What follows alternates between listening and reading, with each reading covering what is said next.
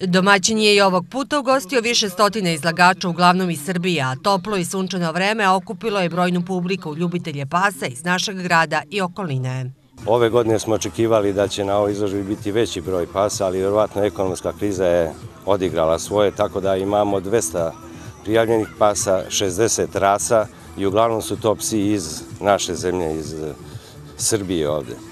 Za dve godine slavimo tad 50 godina našeg društva i pravit ćemo međunarodnu izložbu gdje će doći baš izlagači iz više zemalja, iz našeg okruženja i naši psi, tako da će to biti nešto spektakularno. I na ovoj izložbi svaka rasa je posebno ocenjivana, a odobran je istaknuti sudijski žiri koga su učinili Pero Čelebić iz Crne Gore, Nikola Angelovski iz Makedonije i dvoj domaćih arbitara, Nenad Milošević i Zoran Đokić.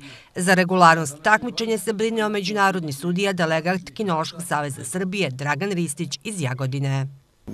Prvo bacio bih akcenat na uslove i na teren na kome se održava ova izložba su maksimalno, maksimalno zadovoljavajući. Znači, čak na vrlo malo izložbi možemo da naiđemo na ovakve terene. U sklopu ove manifestacije održan je i tradicionalni memorial Dragan Radović Johnny, specializovana izložba Epanjel Bretona, na koje se ocenjivao Nebojš Šurbatović.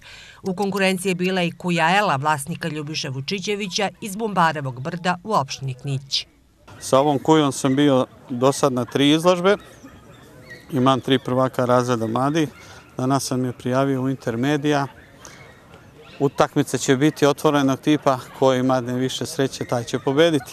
Pomoć organizatorima pružila je lokalna samouprava koja je i za ovu godinu iz budžeta opredelila sredstva za nabavku pehara.